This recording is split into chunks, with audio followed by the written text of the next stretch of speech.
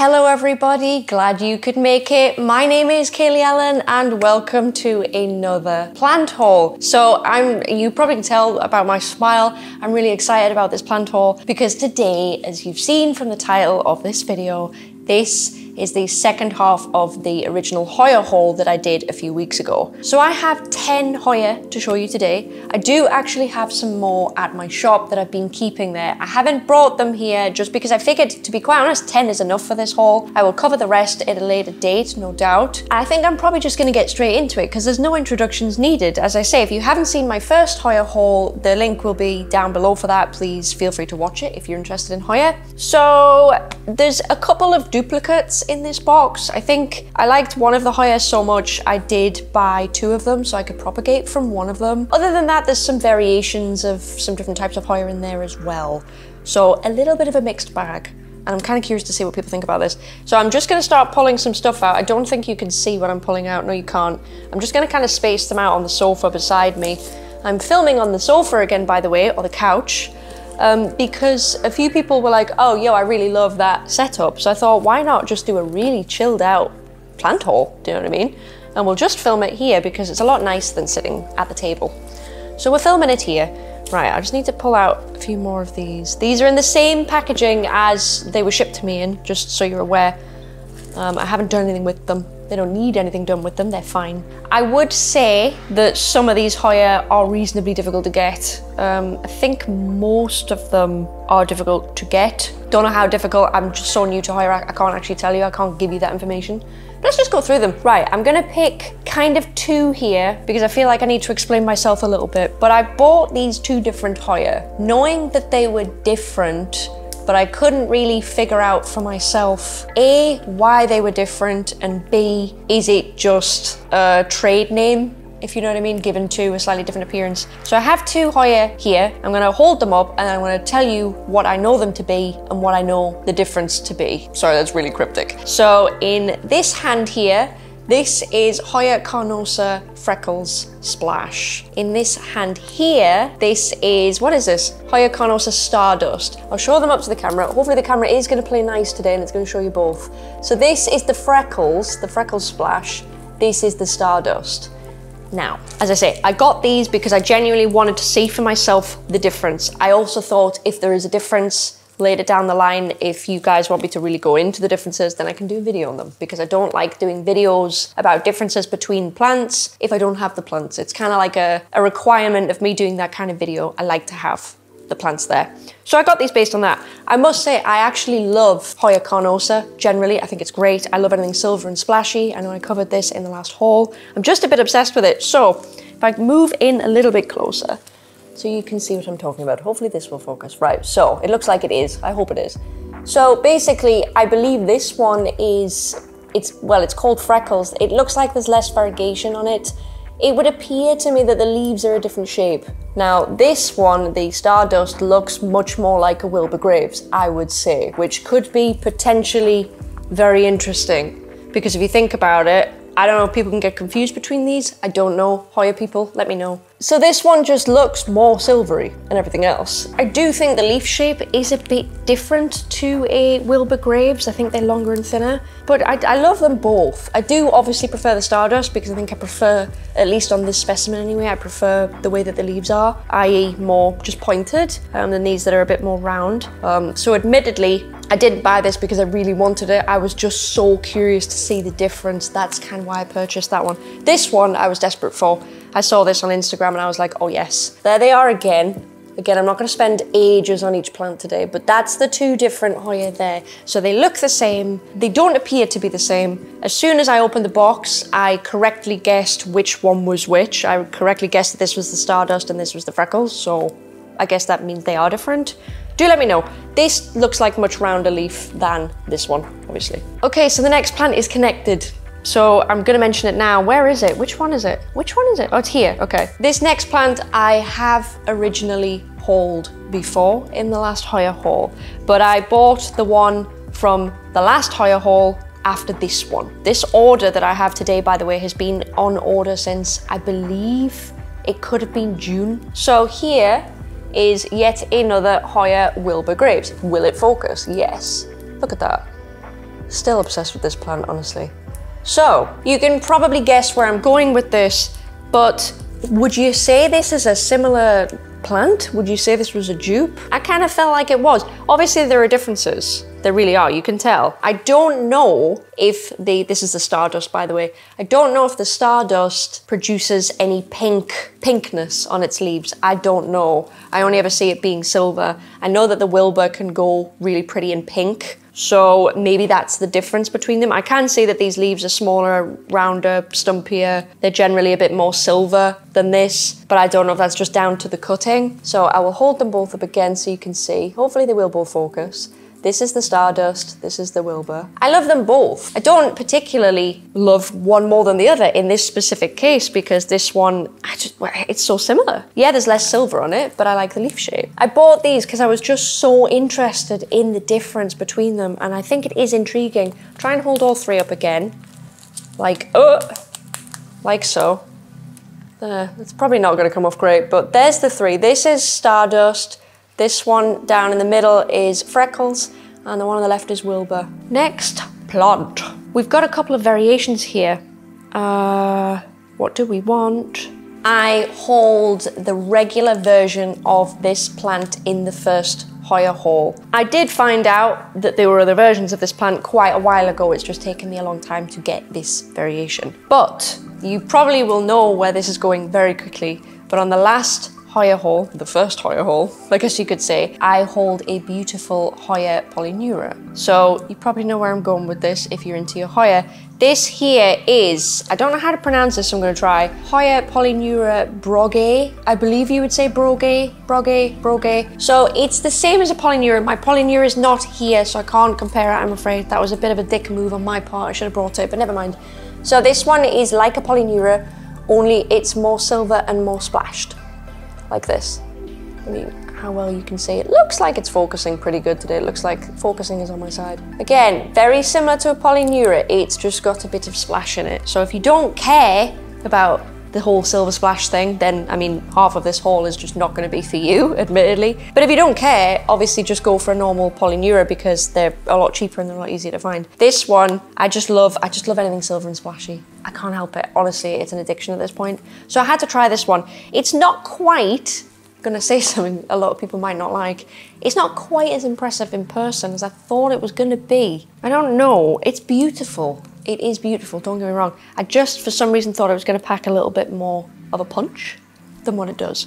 However, I would love to see a full plant of this because maybe it's going to take seeing a more full plant of this against the other full plant of this to really be able to see the difference.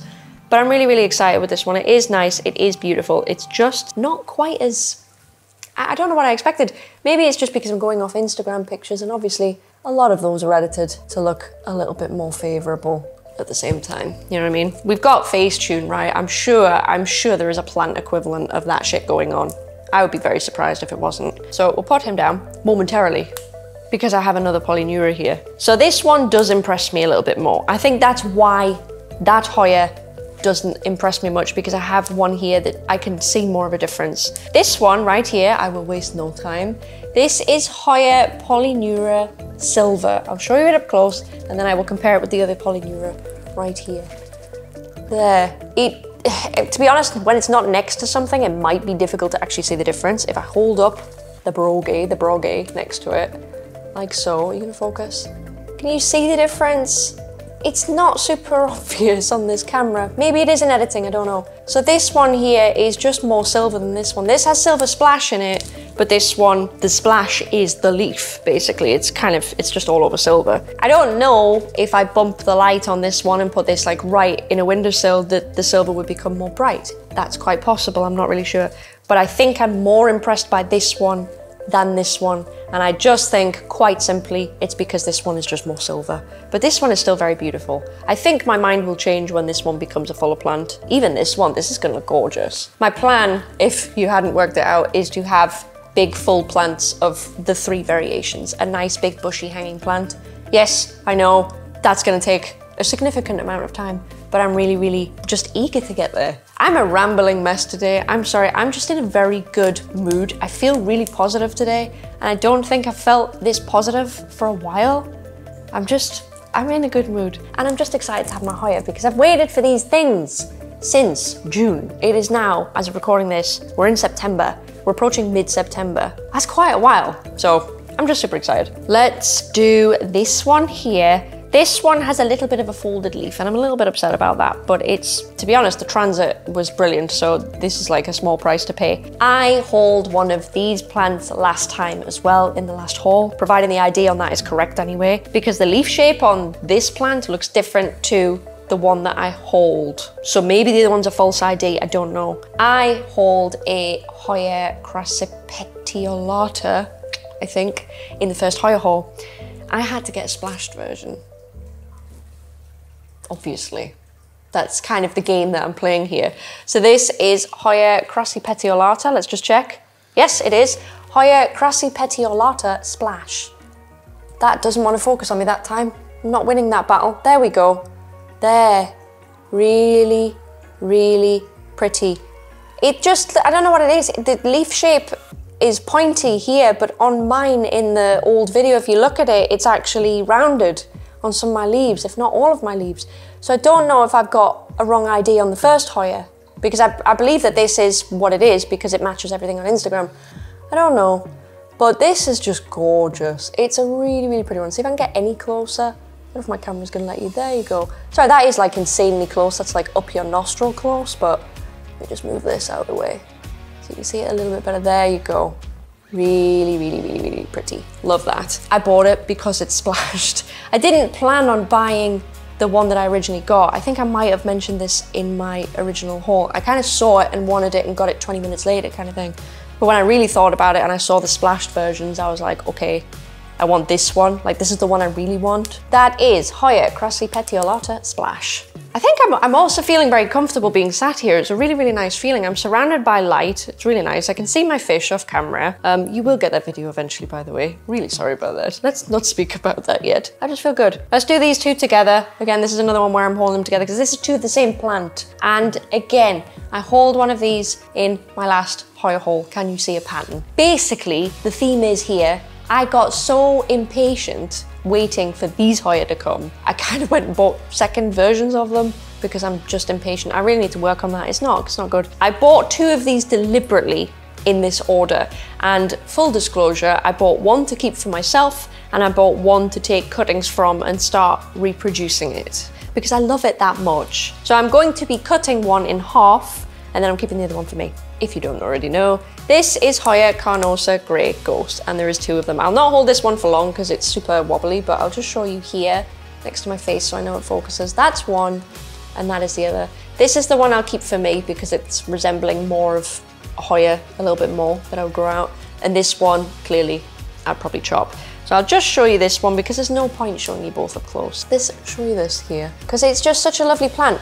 This is a beautiful, beautiful plant. I'll talk while I'm showing you this. I think this plant is different from Hoya carnosa Nova Ghost because I feel like these leaves end up being more square than Nova Ghost, which is round. I would like to know the answer to that in the comments. So if you could tell me in the comments if Nova Ghost and Grey Ghost are the same, that would be great. Hopefully they are the same because otherwise I probably have to go and collect the Nova Ghost so I can really see the differences. It's a problem I've got. It's also a great excuse to buy more, but anyway. So I'll show you again, hopefully to really focus. Yeah, really pretty. This cost more than the other Hoya. Um, I think it might have cost the same price as the Wilbur, actually. I think these are the same price. I'm not going to talk about prices. I covered that in my last video. I just don't want to talk about prices on this channel. Honestly, if I gave you a price that I paid for these, by the time somebody else went to buy them, it is likely that the price has changed. Not only that, but someone might watch this next year and assume that you can get the plants for the same amount and you probably can't. So that's why I'm not mentioning price. But I'm pretty sure these were the same amount. Obviously, this is a little bit more easy to get than this one. This is the Wilbur, sorry, I'm holding up. Um, but yeah, so I bought it like this because I wanted more of a full looking plant and there was an option to have more leaves, so I took it. The other plant I will be chopping right there, no doubt, and I will propagate from this one and grow it on. So technically I have three grey ghosts, which does seem a bit excessive, but I just love the plants. I love anything silver, I really do.